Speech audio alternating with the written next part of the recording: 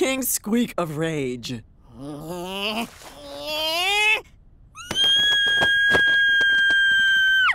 So cute. He's like a little tea kettle. So cute.